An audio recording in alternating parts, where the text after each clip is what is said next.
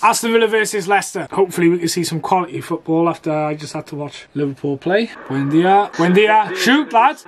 Oh, sugar the iced tea, there you go. Watkins scores, Villa leads. It's the Emery effect. Fair play Watkins, he was in there like a flash, had to be. Oh, Jesus, messing around with it a bit there, gets caught. Iheanacho.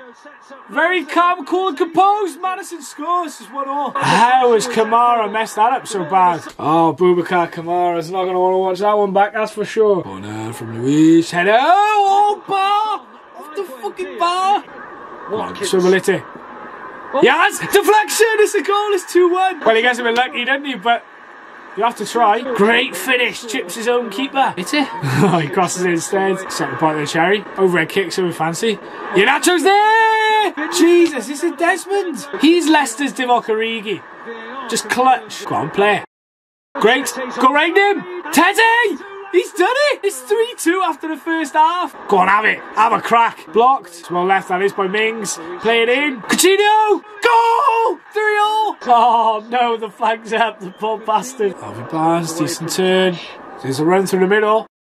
Oh, it's paused. Poor defender from Moreno. And it's 4-2. Dennis Praet, And that's massive. That's a huge result. Obviously, there's a lot of pressure on Rodgers at the minute, but fair play to the board and all. They've stuck with him. I know this is only one win, but one win is enough to change the momentum. And maybe Leicester can ride the crest of a wave now. For Aston Villa, you know, it's, it's one of those performances where it's such a chaotic game that it could have gone either way ultimately as a neutral. Very entertaining.